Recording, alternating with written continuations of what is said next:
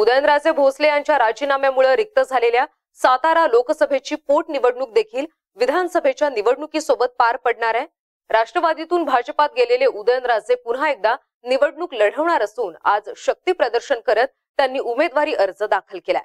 महत्वाचं म्हणजे विधानसभेसाठी साताऱ्यातून शिवेंद्र राजे यांना उमेदवारी देण्यात आली असून उदयनराजे आणि शिवेंद्र राजे यांचं एकत्रित शक्ती प्रदर्शन यावेळी पाहायला मिळालं. यावेळी उदयनराजे भोसले यांनी पत्रकारांशी संवाद साधला. राजकारण हा माझा पिंड नाही. मी मुद्द्यांवर आधारित राजकारण करतो असं त्यांनी यावेळी म्हटलंय. लोकांना आपली कामं व्हावीत अशा अपेक्षा माझ्याकडून असून त्या पूर्ण करेन असं त्यांनी म्हटलंय. यावेळी दोन्ही राजेंनी एकत्रित शक्ती प्रदर्शन करत अर्ज दाखल केले.